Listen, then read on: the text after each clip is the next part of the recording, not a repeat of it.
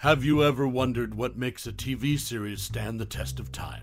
What enduring qualities can turn a show into a symbol of the entertainment industry? One such classic, Bonanza, is a prime example. This Western series, which aired in 1959, has left an indelible mark on television history. But what is it about Bonanza that continues to captivate audiences even today? As we delve into some random facts about the show, it's worth considering your own experiences with this iconic series. Has Bonanza ever inspired or impacted your life in a significant way? We would love to hear your cherished memories or personal stories related to this TV series in the comments below. Now, let's uncover the enduring qualities that make Bonanza an everlasting symbol of the industry and explore the world of the Cartwright family, the Ponderosa Ranch, and the adventures that have stood the test of time.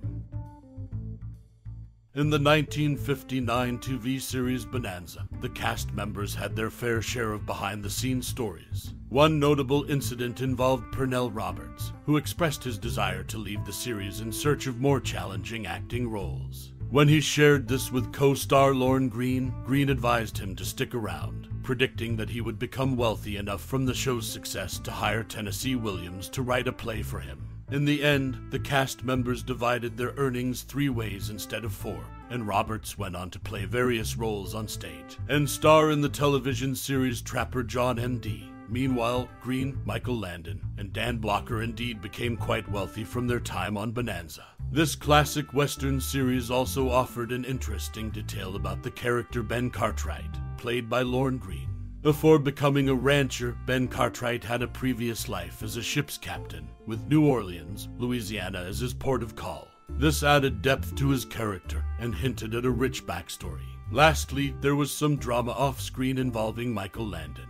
He was responsible for Guy Williams being fired from the series, though the specific details of this incident are not widely known. These are just a few of the intriguing stories and facts that surround the iconic TV series Bonanza, which has left a lasting legacy in the world of television. Bonanza, a popular TV series from 1959, holds the distinction of being the second longest running Western television series, trailing only behind Gunsmoke. It continues to air in syndication. Created by David Dortort, this show made its mark in the world of Western themed television. This Western series revolves around the Cartwright family, owners of the vast Ponderosa Ranch in Nevada. The central characters include Ben Cartwright and his three sons, Adam, Hoss, and Little Joe. Their adventures, challenges, and interactions with other characters made Bonanza a beloved show during its run. One interesting fact about the series is the short lived introduction of a new character, Cousin Will Cartwright, played by Guy Williams, who was known for his role as Zorro. However, Michael Landon, who played Little Joe, reportedly had insecurities and refused to work with any actor he deemed better looking and more charismatic than himself. As a result, Williams only lasted for five episodes in the series. Landon insisted on bringing in his much older looking friend, Victor French, to play the character of Mark, a decision the producers initially opposed. Despite the behind the scenes drama, Bonanza remained a fan favorite and a prominent fixture in the world of Western television, maintaining its legacy through syndication. Let's delve into the classic 1959 TV series, Bonanza.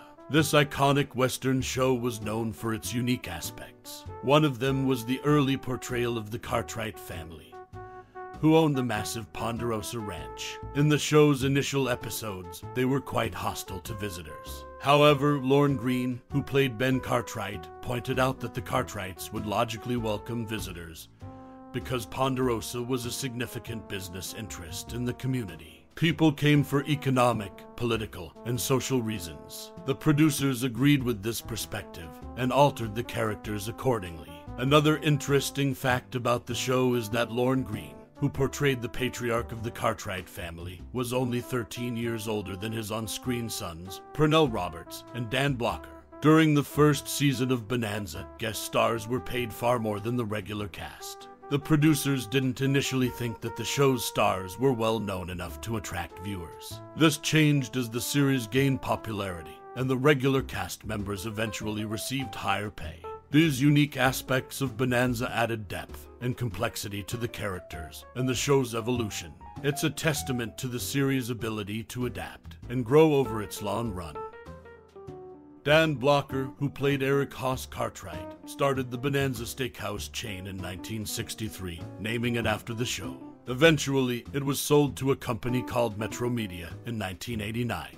Metromedia also bought the Ponderosa Steakhouse chain one year earlier and marketed both restaurants under the same concept. Ponderosa was also the name of the show when it first went into syndication back when it was common to give the syndicated version a different name to differentiate it from the original if the original was still in production.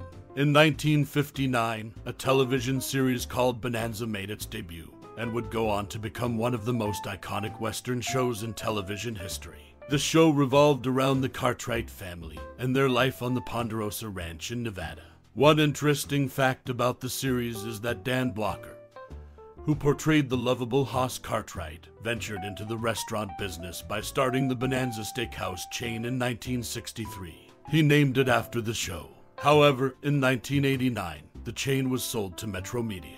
Interestingly, Metromedia had already acquired the Ponderosa Steakhouse chain a year earlier and decided to market both restaurants under the same concept. This connection is intriguing because Ponderosa was also the name used when the show went into syndication.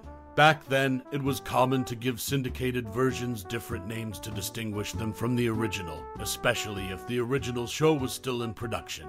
Bonanza not only left a mark on television history, but also had an unexpected influence on the restaurant industry, thanks to Dan Blocker's foray into the business. It's a testament to how popular and enduring the show became, both on and off the screen. So, while Bonanza is remembered for its portrayal of life on the Ponderosa Ranch, it also left a unique legacy in the form of the Bonanza Steakhouse chain, a testament to the enduring popularity of the series.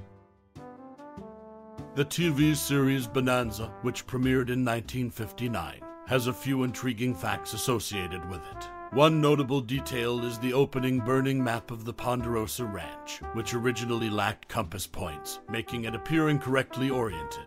To rectify this, the creator, David Dortort, added compass points. Interestingly, some have pointed out that these compass points align with magnetic north rather than true north. Another interesting fact is that the famous theme song of the show, which most viewers have heard as an instrumental, actually had lyrics. Lorne Greene, Dan Blocker, and Michael Landon sang a lyrical version for the pilot episode, although it never aired. Additionally, Johnny Cash recorded his own version of the theme song. Finally, the character Ben Cartwright from Bonanza was highly regarded, ranking as number two on TV Guide's list of the 50 greatest TV dads of all time.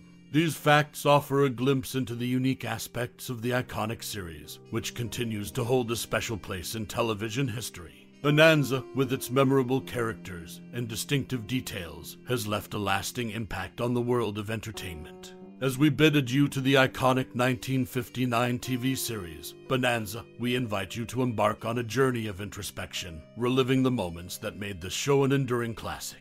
For some, it's the unforgettable camaraderie of the Cartwrights, while for others, it's the sweeping vistas of the Ponderosa that etch themselves into memory. The timeless charm of the Old West, the lessons in family, and the ever present struggles of good versus evil are all threads that have woven Bonanza into the tapestry of television history. So, take a moment to ponder what is your personal connection with Bonanza. Is it a cherished family tradition, gathering around the TV screen to watch the latest adventures of Ben, Adam, Hoss, and Little Joe? Or perhaps it's the inspiration you drew from the characters, learning about the importance of values, honor, and togetherness. We invite you to share your treasured memories, your favorite episodes, or the life lessons you've carried from the Ponderosa. Join in the celebration of the series that has left an indelible mark on hearts across generations. Let's keep the spirit of Bonanza alive by reliving and sharing our fondest thoughts. Thank you for your time and for letting us explore the timeless appeal of Bonanza with you. We look forward to hearing your stories and insights, for it's the stories of the viewers that truly make this journey special. Warm regards.